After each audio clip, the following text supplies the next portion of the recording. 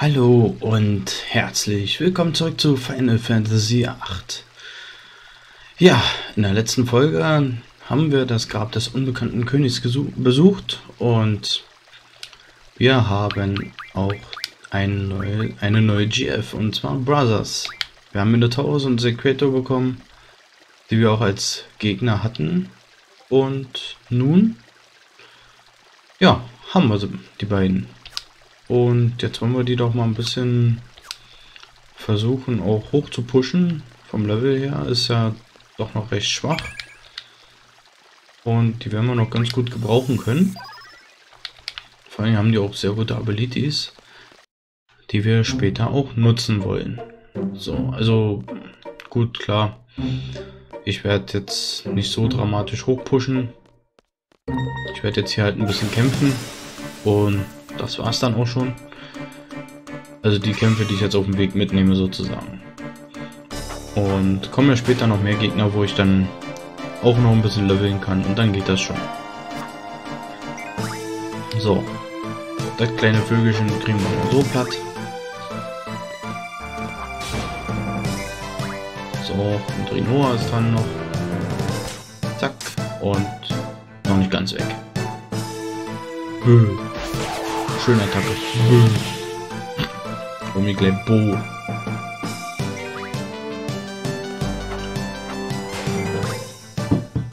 So, und das war's mit dem kleinen Vögelchen.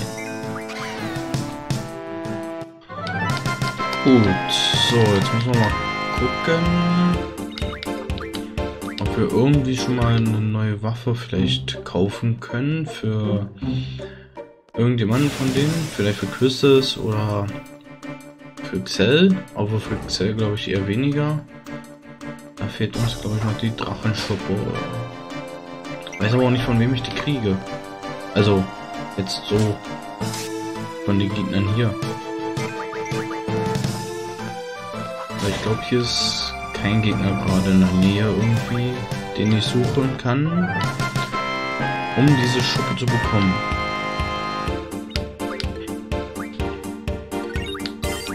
So, Brothers hat Anfeuern erlernt, sehr gut. Dann können wir gleich mal was anderes hier einstellen. Gonforce Magie. Machen wir erstmal HP. Damit sie erstmal überhaupt die Energie dafür haben, dass sie kämpfen können. Dass sie es auch ein bisschen länger aushalten. Angriff von hinten. Na, darauf freut sich doch das kleine Vögelchen. Ne. Schön von hinten immer einen kleinen Angriff starten. So, Windfedern geklaut dafür.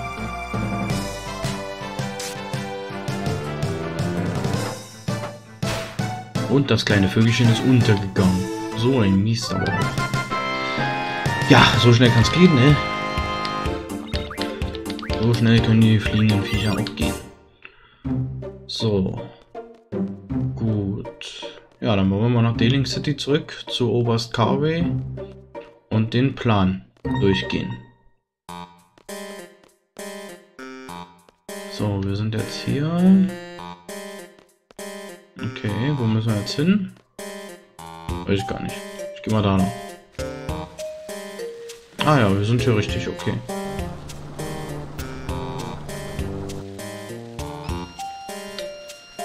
Dieser Bus fährt zur Villa Carvey. Ja, wir wollen einsteigen. An Villa Carvey aussteigen, machen wir doch glatt. Wobei, wir wollten ja noch... Äh Ach ne, wir können uns ja, glaube ich, dann noch umschauen, oder? Ne, ich gehe mal kurz hier runter.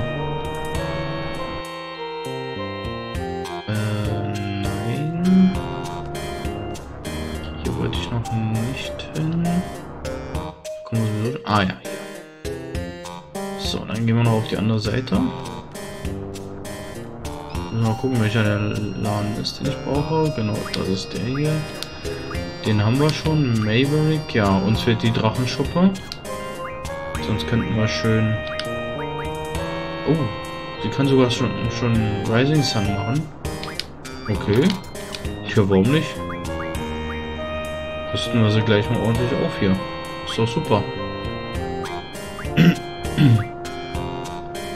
ja. Gut, dann müssen wir halt danach mal gucken. Dann können wir ja hier mal vielleicht reingehen. Ein paar High Potions, Phoenix-Federn. Nehmen wir mal fünf mit. Genauso wie davon. Davon auch noch fünf. Weihwasser für Zombie und Fluchen. Nee. Ähm, Zelte nehmen wir noch ein paar mit. Fünf Stück reichen. Davon nehmen wir noch vier. So, das sollte reichen. Gut, na dann sind wir ja vorbereitet. Dann können wir ja zu Oberst KW gehen. Ähm, ja. Im Jahr, im Jahr, im Jahr. Die ganzen Busse hier können mich auch umfahren, wa? Nein. Ich stehe denen einfach nur im Weg dann. So. Sie wünschen? Die Antwort geben. Ziffer auf der einer Stelle ist die äh, 1. Ziffer auf der 10er Stelle 3. Auf der 100er Stelle 0. 031. 31? Richtig, Sie können hereinkommen. Na dann los. so, da haben wir nochmal einen Speicherpunkt. Den brauchen wir aber nicht unbedingt. Balam Galvadir machen gemeinsame Sache mit einem galvadianischen Oberst. Was wird hier gespielt? Unnötig, sich Gedanken zu machen. Ein Sieg fragt niemals, warum. Sicher? Ähm, der Vertrag mit euch, der gilt doch noch. Was ist jetzt schon wieder? Bitte lasst mich nicht allein zurück. Wie sieht euer Plan denn aus? Wie sie wieder herumnörgeln? Du weißt, wie man Bef Befehle erteilt. Tu, was du nicht lassen kannst. Okay, dann erklär mir alles. Später. Wir gehen erstmal rein.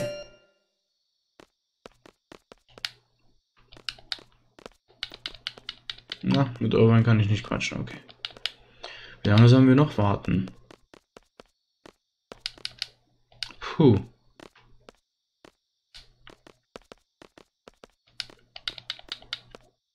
Mann, was denkt er sich dabei?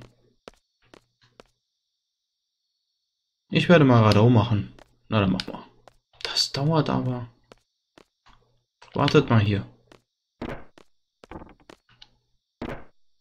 Ach ja, übrigens bin ich hier zu Hause. Also keine Sorge. Du machst doch jetzt keinen Ärger. Nee, ach. Was soll das nun wieder heißen? Da ist er ja. Wo ist Rinoa? Sie ist nicht dafür trainiert. Sie fällt euch womöglich zur Last.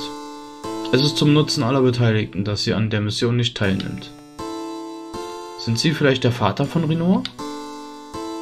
Es ist zwar eine Weile her, seitdem sie mich so genannt hat. Der Vater ein hohes Tier beim Militär, die Tochter in der Widerstandsbewegung? Das kann doch nicht gut gehen. Richtig, das sehe ich ebenfalls so.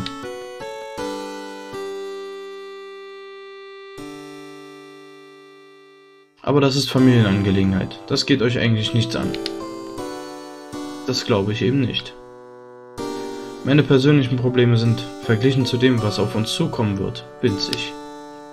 Für uns sind Befehle vom Garden und von Renoir gleichermaßen wichtig.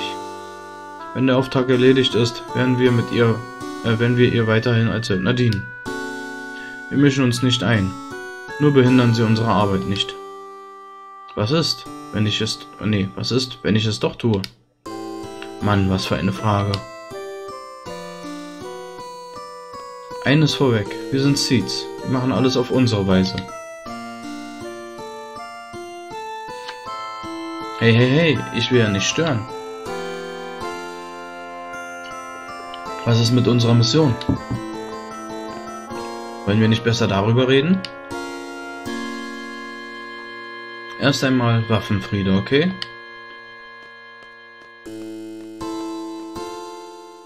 Ich werde den Plan erläutern.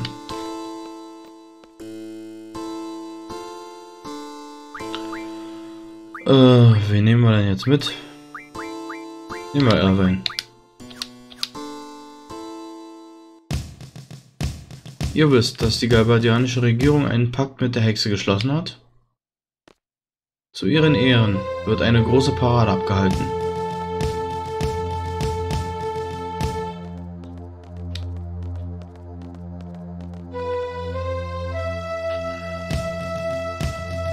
Die Zeremonie findet im Präsidentenpalast statt.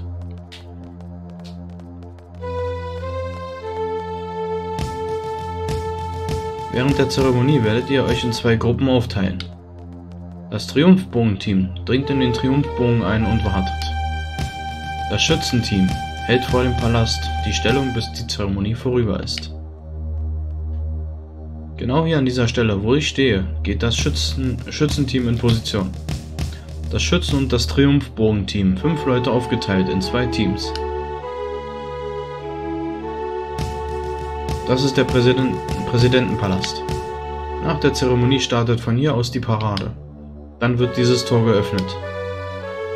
Bis dahin solltet ihr euch ruhig verhalten. Bei Zwischenfällen wird die Parade gestoppt. Das müssen wir um jeden Preis verhindern. Ist das Tor zu, kommt das Schützenteam an die Reihe. Da die Menschen auf, auf die Parade schauen werden, wird es relativ einfach sein. Bah. Das Schützenteam muss schnell handeln. Das Ziel die Terrasse am Palast. Im Vorzimmer auf dem Flurboden muss irgendwo eine Falltür sein. Da steht eine kitschige Spieluhr. Das Schützengewehr ist dort versteckt. Eindringen und bis 20 Uhr warten. Die Hexe wird aus diesem Tor in einem Auto losfahren. Der Wagen wird am Tor nach links abbiegen. So ungefähr wird es sich fortbewegen. Die Kolonne wird danach auf, auf, der Kreisstraße einmal um die Stadt fahren und wieder an diesen Platz zurückkehren. Aus dieser Richtung wird also die Kolonne wieder erscheinen. Danach biegt die Kolonne nach rechts ab und fährt hier weiter. Jetzt zum Triumphbogen-Team. Um Punkt 20 Uhr passiert die Hexe den Triumphbogen.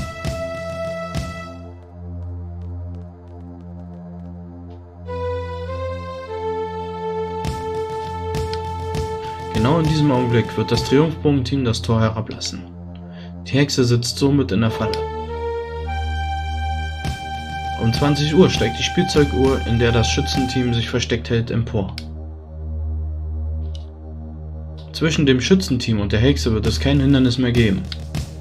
Das ist dann die Chance.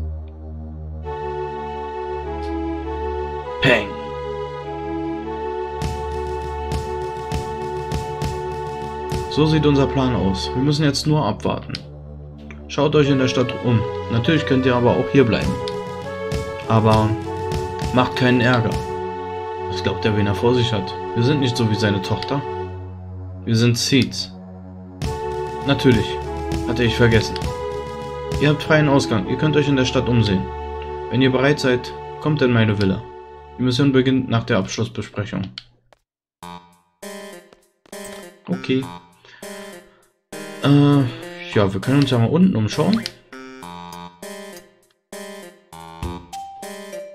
Ich wollte eigentlich runter, nicht hoch. Die Leiter hinaufsteigen? Nein. Ach, geht nur nach oben. Na gut. Dann lassen wir das. Dann lassen wir das doch.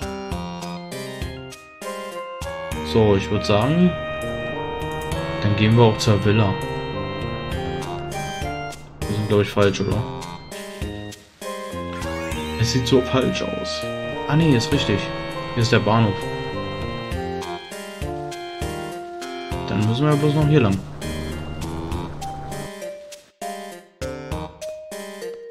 Und ich glaube hier hoch. Oder? Ja, wunderbar. Das war der richtige Weg. So, na dann gehen wir mal wieder zur Villa. Wir wollen ja der Hexe mal ein bisschen auf den Zahn fühlen, ne? So, jetzt zur Teamaufteilung.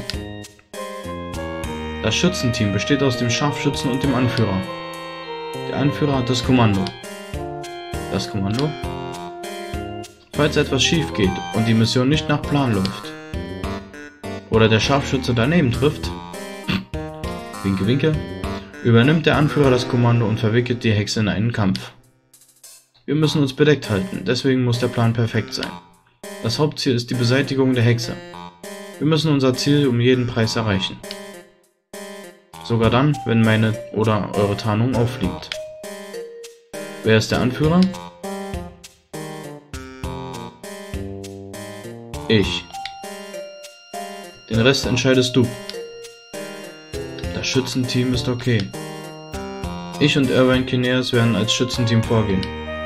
Das Triumphbogenteam besteht aus... Hey, hey! Verstanden. Klare Sache. Wer führt das Triumphbogenteam an?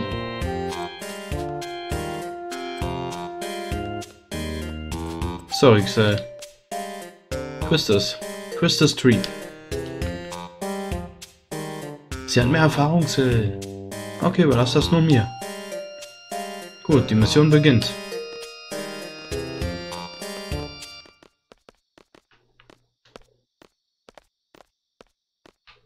So, jetzt können wir Quistas spielen. Wunderbar. Ich bin in deinem Team, Quistas, oder? Nein, auf gar keinen Fall. Wir werden es der Hexe zeigen. Und hey. Ich bin entkommen. Hat er was gesagt?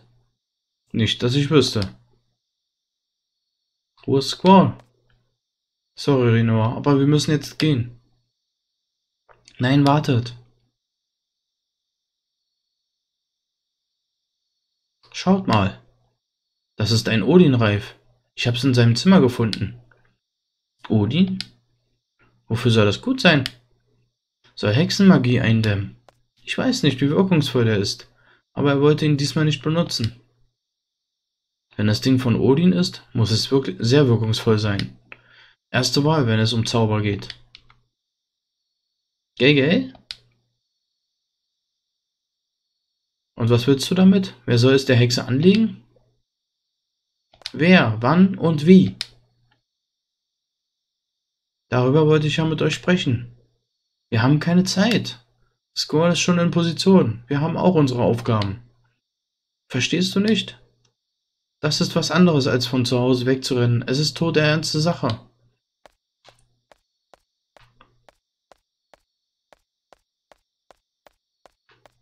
Hm. Jarry Noir. Da stehst du alleine da. Ich meine es ja auch ernst. Was weiß ich doch. Ich habe doch auch einen Plan.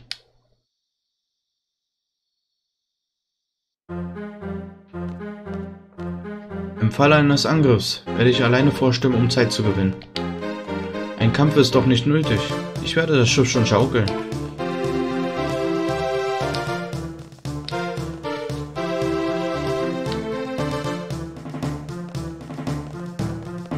Sag mal, ist es wahr, dass ein Seed niemals warum fragt? Na, Adam. Manchmal würden wir gerne fragen, zum Beispiel jetzt, aber... Oh, und Warpunkt. Warum willst du das wissen? Wenn der Feind ein richtig mieser Typ ist. Ah, Blitzer. Äh, ja. Wahrscheinlich ist der Feind weder gut noch böse. Wir haben nur unterschiedliche Standpunkte. Mist, habe ich weggedrückt, wo ich den Dorpunkt da angeklickt habe. Na egal. Nein, das will ich nicht. Ich muss aufpassen, dass ich an die hinteren Tasten nicht rankomme. Boah, der Schleichen, die Schleichen. Oh, nur so doof. So, ihr meinen.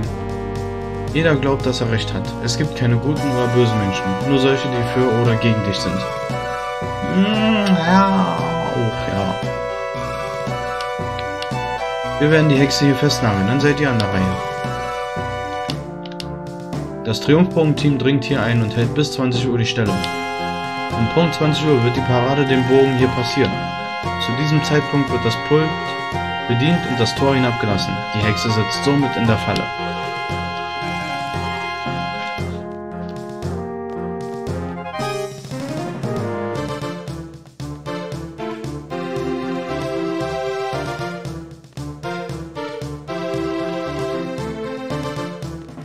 So, jetzt noch nach hoch. Oder eher nicht? Gehen wir mal gucken. Ah, okay. Wir haben schon Stellung bezogen. Wir gucken mal, quatsch mal an. Ui, was für eine Aussicht. Die Hexe einsperren und abknallen. Das ist irgendwie hinterhältig. Aber das ist unsere einzige Chance. Es ist noch zu früh, um den Schalter zu bedienen. Ich glaube auch. Mit diesem Schalter kann man also das Gittertor hinablassen. Du machst das schon. Oder ihr drei. Ihr macht das schon. So, dann gehen wir mal wieder raus. Ich glaube, der Oberste ist woanders hingegangen.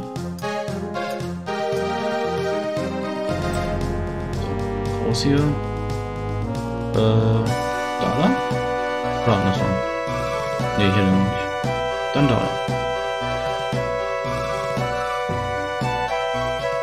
Da ist er ja.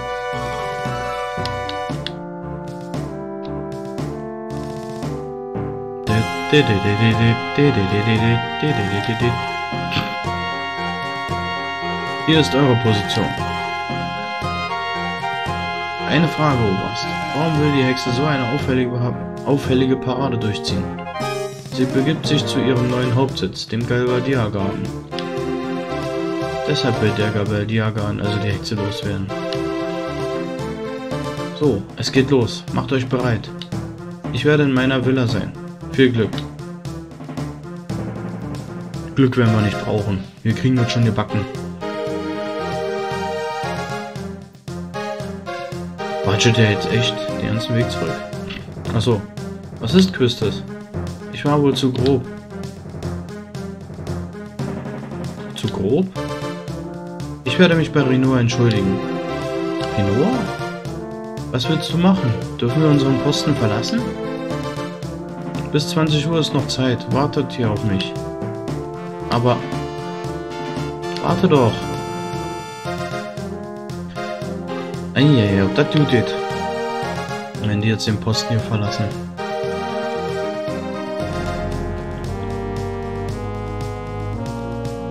schnell hinterher, ne? Ab in die Villa. Der Oberste ist sowieso schneller. Obwohl wir rennen. Aber er ist schneller.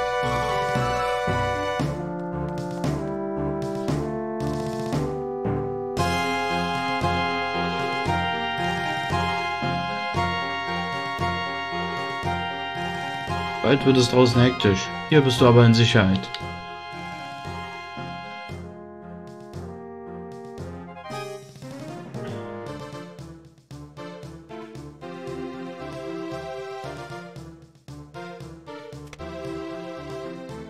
Mist, er wird mich einsperren.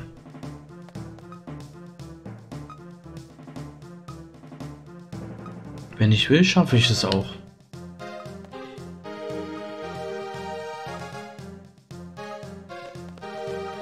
Renoir, es tut mir leid wegen vorhin.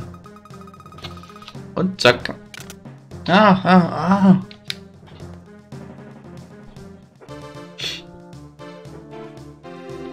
Sitzen wir jetzt fest? Der Oberst. Ich glaube, wir sind zwischen die Fronten geraten. Das ist sehr, sehr schlecht. Ich mache mir Sorgen um Renoir. Was wird hier gespielt? Renoir ist wahrscheinlich alleine zur Hexe gelaufen. Sie wollte uns helfen. Aber wir haben ja Zeit. So. Ja. Hier ist ein schöner Gullideckel. Kann man den aufmachen? Kann man hier? Ah. Wir gehen mal runter. Gucken wir uns mal ein bisschen um hier.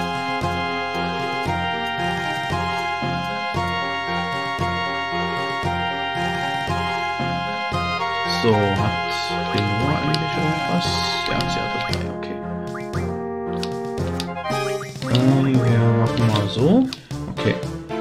Passt also alles. Achso, und... Okay, das lernen sie noch. Da ist sie noch dabei.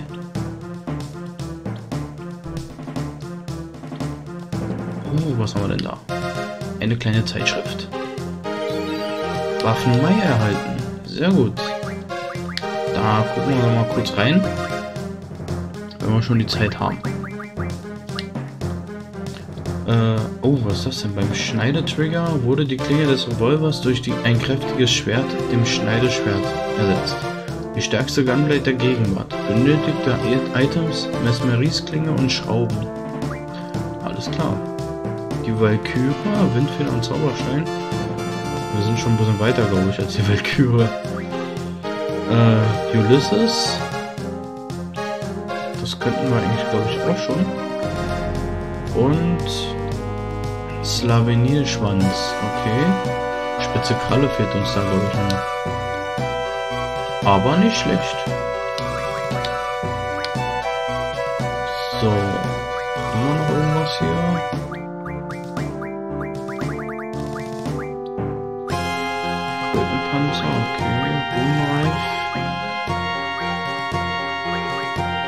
Okay, mehr haben wir nicht. Alles klar. Dann wollen wir mal weiter im Text machen hier. So, es ging halt bloß um die Zeitschrift hier. Die bekommt man halt nur, wenn man wirklich... Also die bekommt man auch später, so ist nicht, aber... Äh, jetzt würde man die halt hier unten bekommen, so. Ach Gottchen, ein paar Flattermäuse. Was haben die denn so? Blitz und Analyse, Nee, äh, die Zeitschrift, die würde man jetzt halt kriegen hier. Hat man ja gesehen gerade. Äh, ansonsten erst äh, viel, viel später. Äh, da müssten wir ganz weit dann schon voraus sein. Und hier kann man nur einmal hin, beziehungsweise nee, zweimal sogar. Entweder hier mit Renoir oder mit Squall und Irvine. Ansonsten kommt man hier gar nicht hin. So, das haben wir auch. 3 AP. Können ja mit Renoir hier eigentlich auch ein bisschen kämpfen, aber... Ach nee. Sie wird noch genug Gelegenheit haben zum Kämpfen dann. Später werde ich sie sowieso erstmal ein bisschen hochpushen. So, lieber weiter im Text. Gut. Würde ich sagen, speichere ich erstmal. Damit wir das auch haben. So. Und dann würde ich auch sagen, beende ich hier die Folge. Vielen Dank fürs Zuschauen und wir sehen uns bei, dem, bei der nächsten Folge wieder. Vielen Dank und bis bald. Ciao.